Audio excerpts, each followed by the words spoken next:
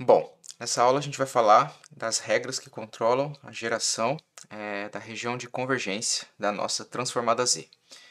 É, como a gente já viu na transformada de Laplace, essas regras é, para a transformada de Laplace aplicada para sinais contínuos, a aula de hoje é bastante baseada é, nas regras da transformada de Laplace, vocês vão ver que é bastante análogo.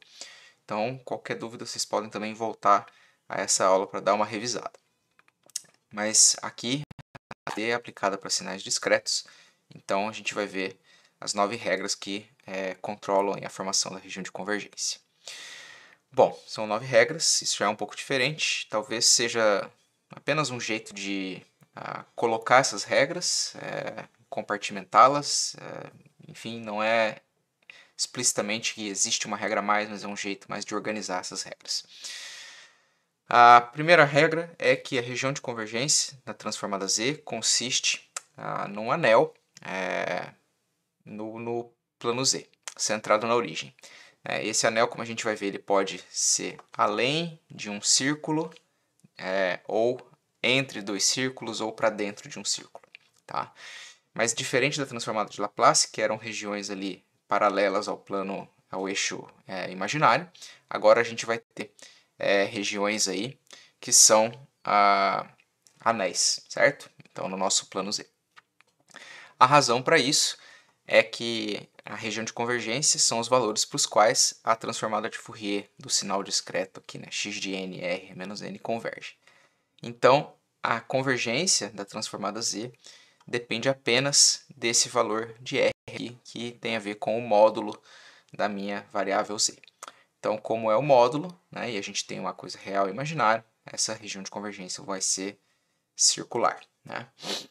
Bom, a regra 2 diz que a nossa RDC ela não contém quaisquer dos polos. E o motivo para isso é óbvio, a gente já viu isso lá na transformada de Laplace. É, e a gente está tratando aqui de transformadas Z de sinais aqui que são é, transformadas Z racionais.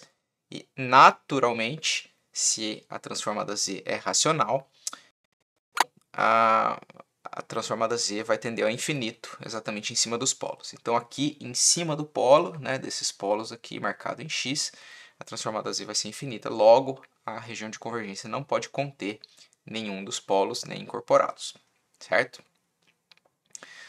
Bom, Uh, a gente pode falar agora de sinais que são finitos, laterais direitos, laterais esquerdos e bilaterais, como a gente falou para a transformada de Laplace. E é isso que a gente vai fazer. Então, em primeiro lugar, para um sinal x de n que tem duração finita. A RDC, de convergência, vai ser todo o plano Z, exceto por algum polo contido em z igual a zero ou em z igual a infinito. Tá?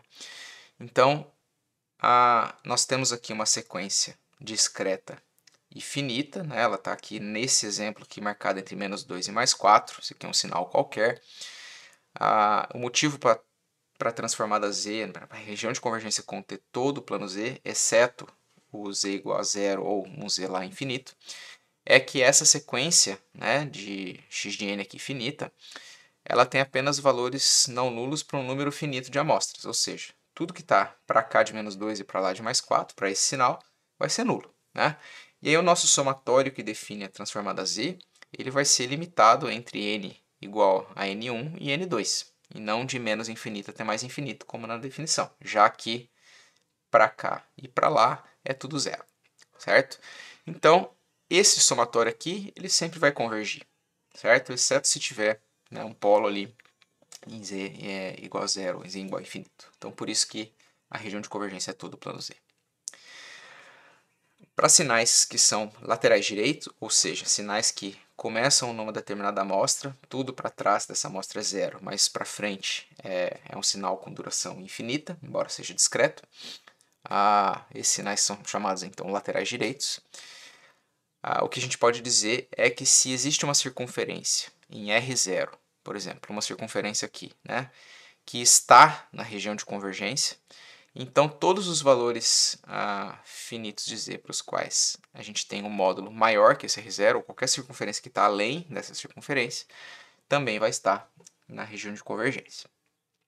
E a razão para isso é que se existe um R1 maior que R0, então é, esse sinal aqui, o xn de R1 a menos n, vai decair mais rapidamente que o xn de R0 menos n. É similar ao que acontecia lá na transformada de Laplace. Né? A implicação prática disso é que a nossa região de convergência sempre vai ser definida é, por uma região externa a um determinado, a uma determinada circunferência. Então a gente vai ter circunferências que vão é, as, as localizações dos polos definem circunferências no plano Z e a nossa região de convergência sempre vai estar além de uma determinada circunferência, certo? E para os sinais ah, laterais esquerdos é o contrário, né? É, nós temos os polos definindo ah, as circunferências e a região de convergência vai ser sempre uma circunferência interna a uma determinada circunferência, certo? Lembrando que a região de convergência não pode conter nenhum polo, e é por isso que acontece que, no caso do lateral direito, a região de convergência é externa, a circunferência é mais externa, e no lateral esquerdo, a região de convergência é interna, a circunferência é mais interna. E a razão para isso aqui é análogo, né? no, no caso do lateral esquerdo, a, é, um, é análogo ao lateral direito, só que aqui troca-se o valor de R1 e R0. Então, qualquer, se você tem uma circunferência que está na região de convergência, qualquer circunferência que tiver dentro daquela circunferência vai fazer com que este sinal aqui converja mais rápido que o anterior, certo? Legal. Se o x de n for bilateral, ou seja, se ele tiver duração infinita, ah, então a gente vai ter uma circunferência é, z igual a zero tiver dentro da RC, então o RDC vai consistir num anel que contém essa circunferência. Então, a razão para isso é uma combinação das regras, das regras 4 e 5, né, para laterais direito e lateral esquerdo. E aí a gente vai ter uma região de convergência que vai ser um anel aqui no plano real imaginário, certo? Então, para os bilaterais, a gente sempre vai ter uma região de convergência que é um anel. Regra 7. Ah, a gente sabe que todos os sinais ou vão ter duração finita, ou vão ser lateral esquerdo, ou vão ser lateral direito, ou vão ser bilaterais, de duração infinita, certo? Então, qualquer sinal com é, transformada Z tem a região de convergência definida aí pelas regras a 3 a 6. E, além disso, a região de convergência vai ser limitada pelos polos sem incluí-los ou se estende ao infinito. Então, a gente ou vai ter uma região de convergência para fora de uma circunferência mais externa, que tem a ver com sinais é, laterais direitos, ou a gente vai ter uma região de convergência entre dois, é, duas circunferências, que vão ser os sinais bilaterais, ou a gente vai ter uma região de convergência para dentro de uma determinada circunferência, que são os laterais esquerdos, ou a gente vai ter então uma região de convergência que é todo o plano Z para os sinais de duração finita, sem incluir um polo lá possivelmente em, em, na origem ou um polo no infinito, certo?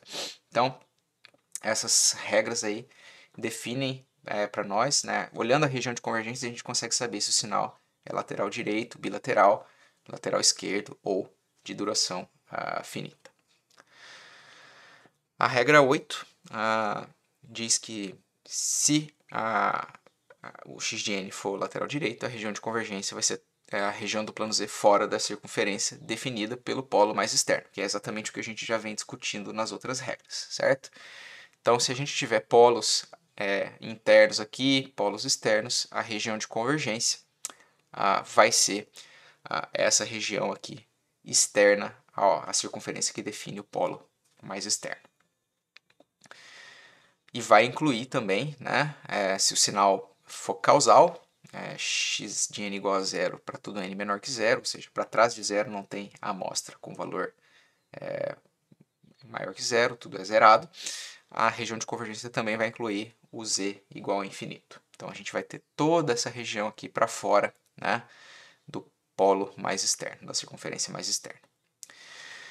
A, a regra 9, por fim, diz que se o x de n for lateral esquerdo, a, a região de convergência vai ser todo o plano Z dentro da circunferência definida pelo polo mais interno. Então é o contrário da anterior, e motivo para isso também a gente já, já vem discutindo nessa aula.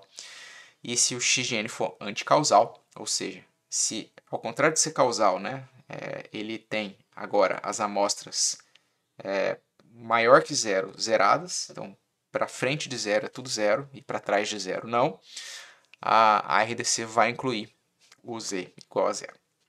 Então ela inclui aqui a origem, certo? Ah, pode ser que ela não inclua a origem, né? É, se ele não for exatamente anticausal, ou no caso anterior, se, ele, se o sinal não for causal, pode ser que exista um polo no infinito. Mas se for causal, não vai existir um polo no infinito. E se for anticausal, ah, desculpa, se for causal, é, não vai ter polo no infinito. E se for anticausal, não vai ter polo em zero, certo? Na origem. Bom, essas são as regras que controlam a região de convergência da transformada Z. Então, tendo a transformada Z e tendo a região de convergência, convergência, a gente consegue definir exatamente qual é o sinal discreto que gerou aquela transformada Z. Uh, essas regras são perfeitamente análogas ao que a gente viu lá para a transformada de Laplace, então qualquer dúvida vocês podem voltar lá. E a partir daqui a gente vai fazer análises mais profundas agora sobre a transformada Z de sinais discretos. Tá bem? Até mais.